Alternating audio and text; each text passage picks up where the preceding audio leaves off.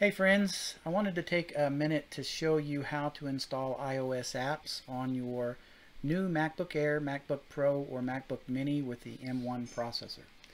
So what you're looking at here is my MacBook Air. This is just the basic model with the Apple M1 processor.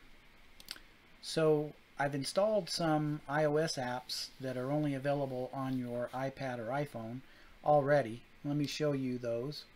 For example, here's JW Library. You can open up JW Library, go into meetings, open up your watchtower, scroll through that. You can go into the uh, life and uh, ministry section. You can go through all the parts here. You could go up and listen to one of the songs or the media files. All of it works. Another app that I've installed that's only on the iPad is mDomestics.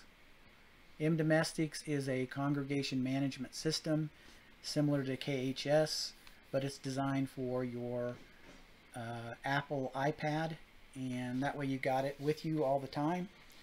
And uh, now you're able to run it on your MacBook Air, MacBook Pro, MacBook Mini with the M1 processor. So it's installed and working fine. So let me show you how we do it. So you'll go to a website called iMazing.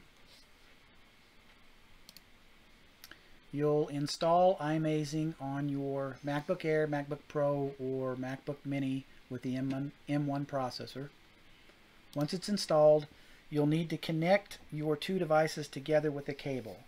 In my case, I have both my iPad Pro and my MacBook uh, Air have a USB Type-C connection. So I have a USB Type-C to USB Type-C cable connecting the two together. You may have a lightning port or some other type of connection. So once that's connected, you'll open up the iMazing application that you installed.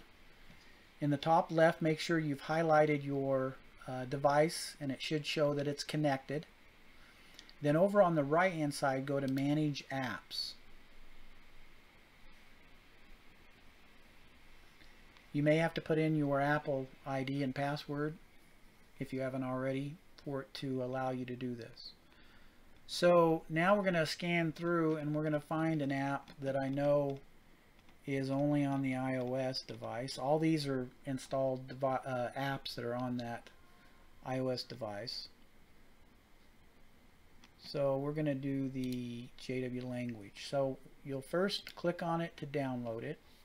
Here's an example of me having to put in my password.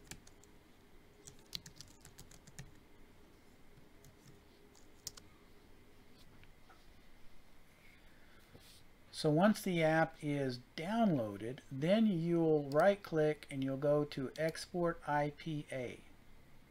I usually put it in applications, save it. Then we're going to minimize this and we're going to go into applications. So here we are in our applications and we're going to be looking for that application which we just installed which was JW uh, language. So it's an IPA file right now so we've got to install it. So we'll double click it and install it. Now if we open it up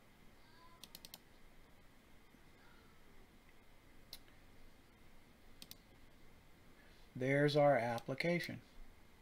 So then, you know, we could come down and we could in, uh, choose a language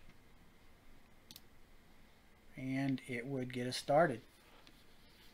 So really friends, it's pretty simple, pretty easy to do. That's how you install iOS apps on your new MacBook Air, MacBook Pro, MacBook Mini with the M1 processor. So thanks for taking the time to watch the video.